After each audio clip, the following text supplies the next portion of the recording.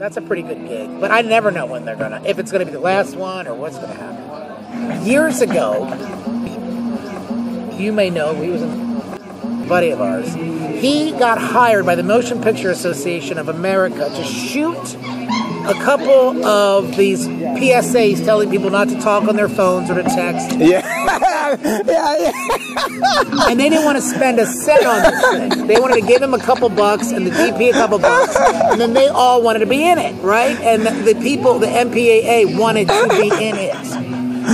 And it's like, oh my God, this is one of the first things I'm going to direct. These people aren't actors. It's going to be terrible. Will you be in it? And I was like, man, are you serious? He's like, come on, man. Will you please just do it? You'll be perfect. You got to act annoying on phone. And I'm like, fine, fine, I'll go do it. So we go and do. They take all these pictures. Uh, it is in every movie theater around the country. Every people will take pictures of themselves next to it and throw it up on my Facebook wall. Look who I'm next. I'm like, I didn't get paid a cent. I did this because my friend was begging me. And this is gonna be on it's gonna be around longer than me.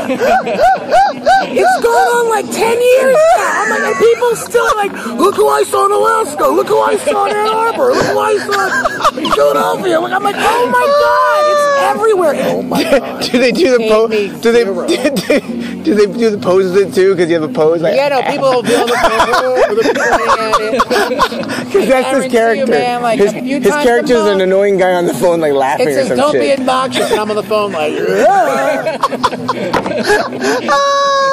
oh my God, will you please do this? I'm like, all right, no one's ever going to see this everywhere for a decade.